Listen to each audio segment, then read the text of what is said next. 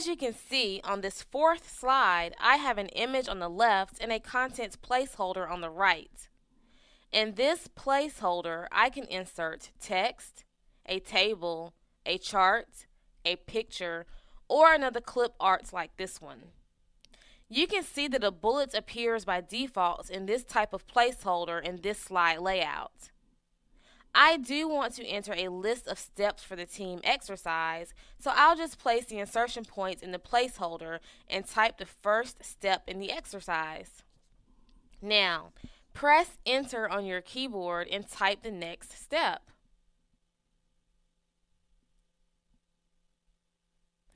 As I pressed enter, the new bullets appeared so I could type the next step in my list. And we'll do the same thing again.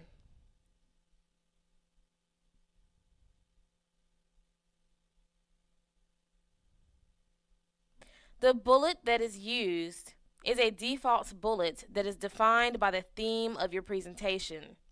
We are using the urban theme, so this is the default bullet for urban.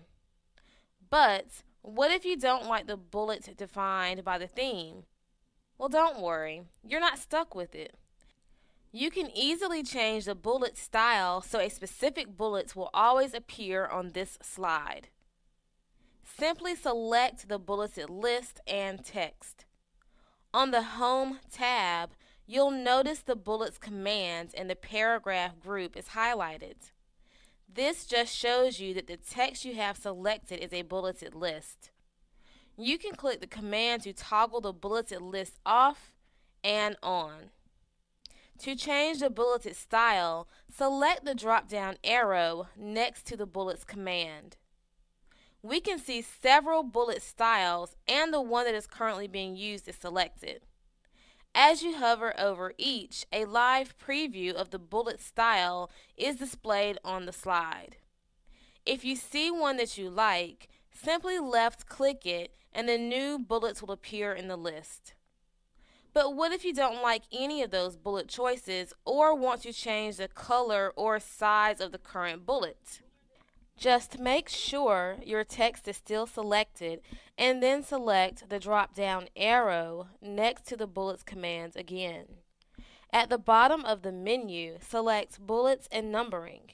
A dialog box appears. At the top, you have two tabs, Bulleted and Numbered, which you can choose between. From here, you can do several different things. You can switch to a different bullet style choose to display no bullets, or change the color of the existing bullet. You can even change the size of the bullets if you want it to appear larger or smaller than the text. If you click the picture button, the picture bullet dialog box appears. From here, you can choose from many picture bullets that are used in the Office 2007 templates. There are some simple ones and some interesting ones. You can even import your own pictures. Once you have one you like, just click OK to insert the bullets. I don't want to use a picture, so we'll just click Cancel. If you click the Customize button, the symbol dialog box appears. We can use the scroll bar to scroll through these choices or the font drop down menu to choose another set to view. There are some good bullet options in the wingding section, so I'm going to select that. Oh, look at all of these new choices. Here, I think I like this arrow. Now click OK in the symbol dialog box. The arrow symbol now appears in the list of possible bullet choices. Hmm, I like the arrow, but I think this open circle may look nice. I'll just select it and then click OK to apply it to my slide. But what if I decide I want to change a bulleted list to a numbered list or add a numbered list from scratch? Just select the text and click the drop down arrow next to the numbering command on the Home tab. I can choose one of the options from the menu or choose bullets and numbering at the bottom.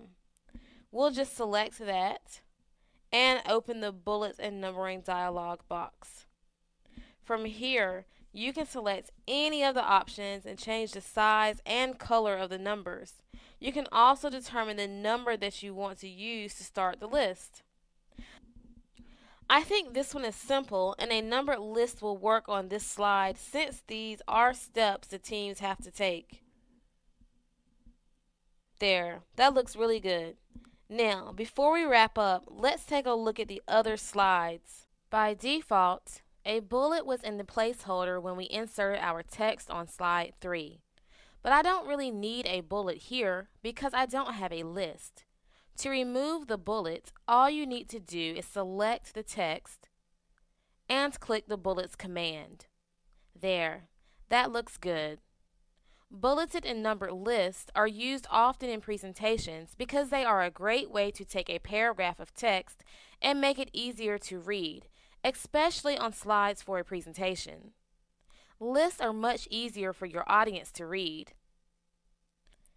Spend some time trying the bullets and numbering commands to see how they work.